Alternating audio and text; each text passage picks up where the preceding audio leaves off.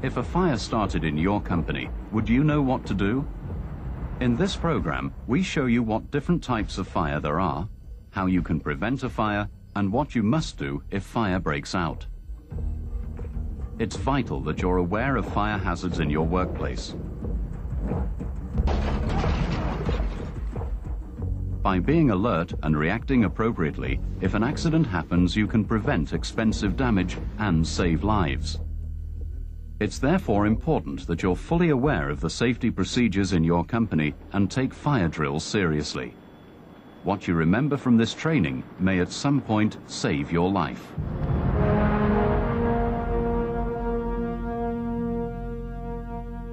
In any war, it's important to know the enemy. Since mankind learned to control fire, it has been both friend and foe. Without fire, we'd be helpless against nature. Modern production processes would also be impossible.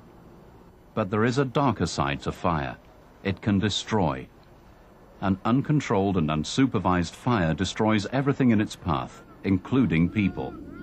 In this program, we're going to consider fire as an enemy. Combustion only occurs when three essential elements are in place. If one of these elements is not present, a fire won't start. If one is taken away once the fire has started, then the fire will go out. Firstly, fire needs fuel or something flammable. The fuel can be a solid material, a liquid or a gas.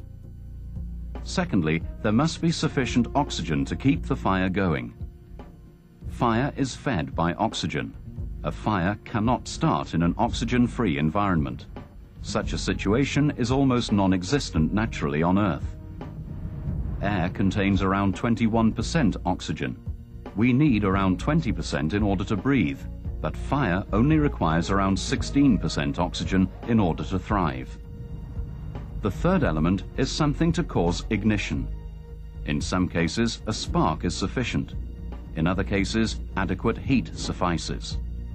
When these three elements combine, it starts a chain reaction that leads to a fire.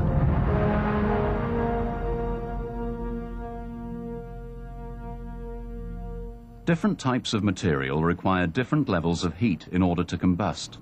But with sufficient heat and a supply of oxygen, almost everything around you can burn. Fire is subdivided into various categories, depending on the material or the fuel. You must be aware of these fire categories because you can't employ the same method to extinguish every type of fire. If you've ever seen an oil fire, you probably know that water just makes it worse, whilst putting out an electric fire with water is likely to result in electrocution. The most common fire is a Category A fire. Normal flammable materials such as wood, paper and textiles are the fuel for Category A fires. Water is an excellent way of extinguishing a Category A fire. Category B fires are started by combustion of liquids. A petrol fire is a Category B fire. There's a significant risk of explosion with such fires. Category C fires are started by combustion of gases. A propane fire is a Category C fire. There's also a risk of explosion with these fires. If the fuel for a fire is a flammable metal, it's known as a Category D fire. It's unlikely that you'll encounter these fires in everyday life, but they do occur. Metals such as magnesium, titanium, and sodium are potential fuel for Category D fires. Many fires start in kitchens, normally through unsaturated fats overheating and igniting. If your workplace has a large commercial kitchen, it's vital to have a Category F fire extinguisher, a deep fat fryer or fat fire extinguisher. Fires caused by electricity are not regarded as a specific fire category, as electricity itself can't start fires, but it's a common cause of fires. This is often due to short-circuiting or an overloaded wall socket. Electrical fires can generally be put out using a Category A or B fire extinguisher. If a fire breaks out, you need to identify what type of fire it is and know what to do, depending on the fire category.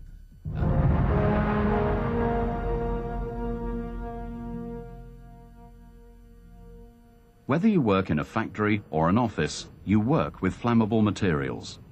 Remember, all a fire needs is oxygen, fuel, and a way of igniting through heat or a spark. If you work in an office, make sure that there are no large stacks of paper or rubbish lying around. This includes making sure that waste paper bins aren't overflowing.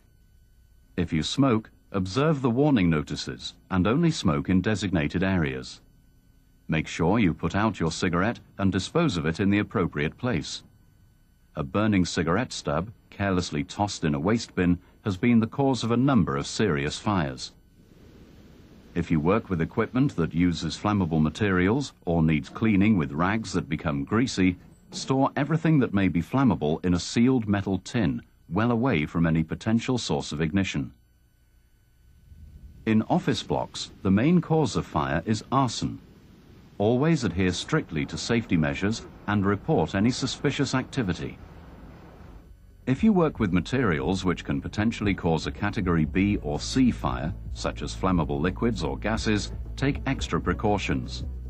These materials may only be used in well-ventilated spaces and must be kept away from anything which can produce sparks. Flammable liquids must be stored in sealed, leak-proof containers. For all flammable liquids, use only approved containers, certainly where a large quantity is stored in a building. Outside storage sites must be at a safe distance from buildings. A correct category fire extinguisher must be located outside within 23 meters of these storage sites and inside within 3 meters of the storage site. Some companies are classified as high-risk areas owing to the materials with which they work. These include sites where benzene and other flammable liquids are processed or stored. If you work in a high-risk area, you must observe all the prescribed fire prevention measures. Fortunately, most of us will never be involved in a Category D fire, as they're only caused by flammable metals.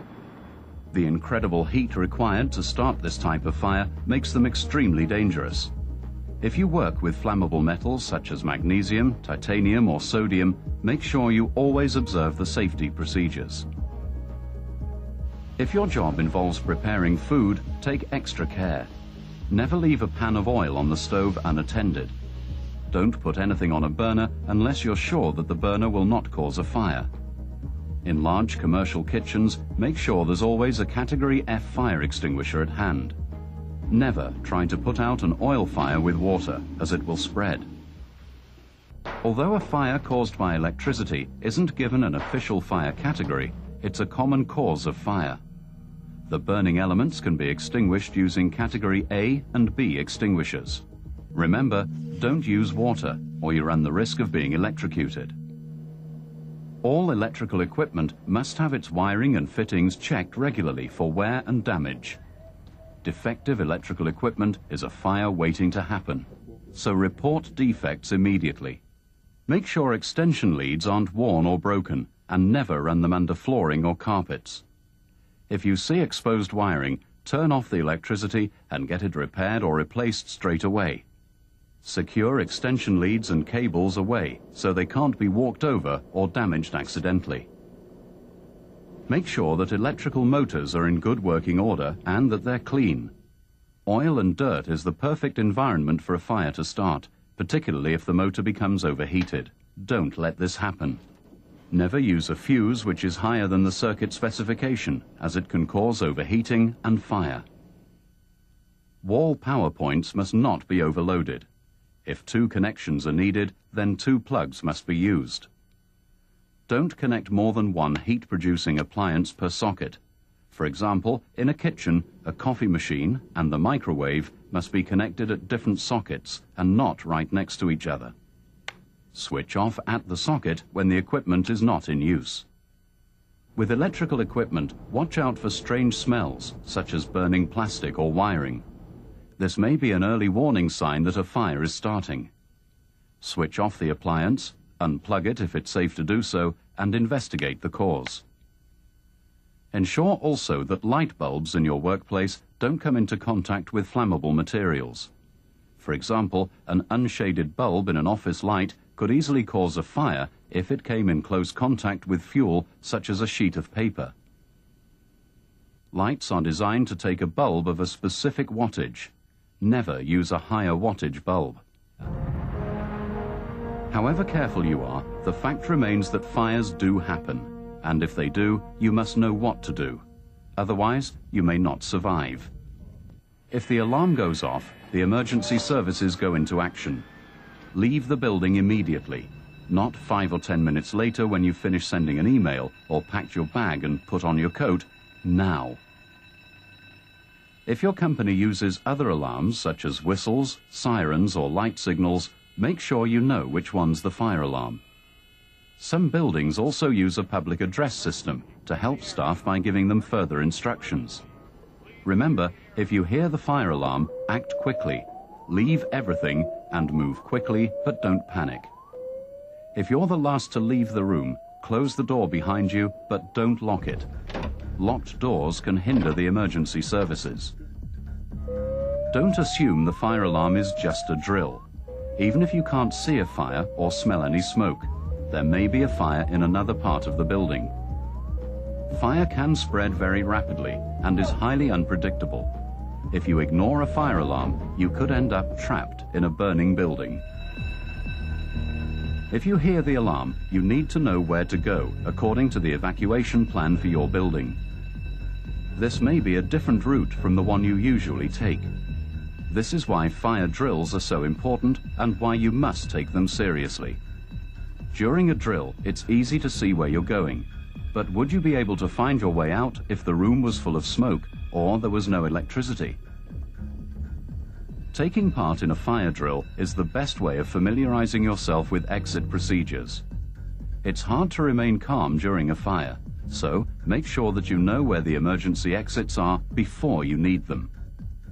In some buildings, there'll be more than one escape route. Fire is so unpredictable that it's vital to have alternative ways of getting out. Never use the lift to leave a burning building. You could end up trapped, and some lifts don't function in the event of fire. It may be that certain employees have special responsibilities as part of the emergency plan in the event of an emergency. Fire safety officers, for example, check that everyone has left the building. They also draw up special evacuation plans for disabled staff. Escape routes should be the shortest routes possible, with sufficient space to allow all staff through, including people in wheelchairs. Employers must also mark doors that may be mistaken for emergency exits. A no exit sign may mean that someone ends up trapped in a burning building. Exits must never be blocked. All staff must be familiar with the escape routes and know where to assemble following an emergency evacuation. The assembly point must be at a safe distance from the building. The evacuation plan for your company may include an escape area. This is a pre-designated area inside the building and away from the fire. Observe the evacuation plan for your company with regard to this escape area. If you have to leave a building and you come across a closed door, use the back of your hand to feel whether the door is hot. If it is, don't open it. This may be the only thing between you and the fire. In this case, you fall back on your second escape route. Remember, remaining calm may save your life. Think of the fire drill and don't panic. If you become trapped, try to block the ventilation holes and the chinks around the doors. Keep down on the floor where there's less smoke and more oxygen. If your clothes catch on fire, don't start running. This provides the fire with more oxygen and will fan the flames. Do precisely the opposite. Stop, drop to the ground, and roll backwards and forwards to smother the flames.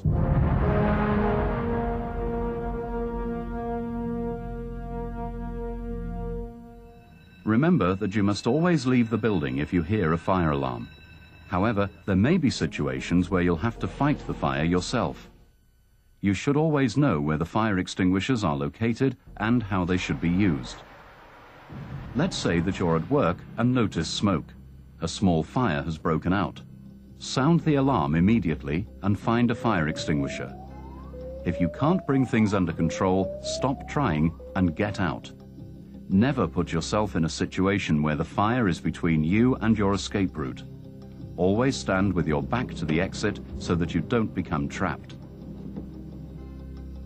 Extinguishers which were introduced to the market after the 1st of January 1997 must comply with the new European legislation, which is Norm NEN EN 3. Make sure that you use the correct fire extinguisher depending on the fire category. Each fire extinguisher is marked with a category sign.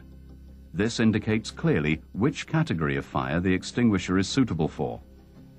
Some fire extinguishers have multiple ratings and most will have instructions on how they should be used. First, pull out the security pin and then aim the fire extinguisher at the base of the fire. Whilst holding the fire extinguisher upright, squeeze the trigger firmly. Then move the fire extinguisher from side to side over the base of the flames.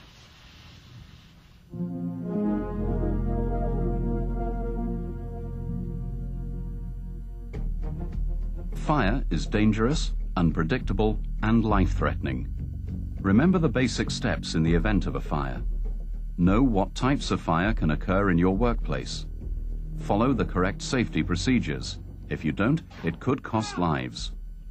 Know how to fight a fire and which fire extinguisher to use. Know where the alarm is and how to escape. Hopefully, you'll never have to deal with a fire. But if you do, these instructions may help save your life.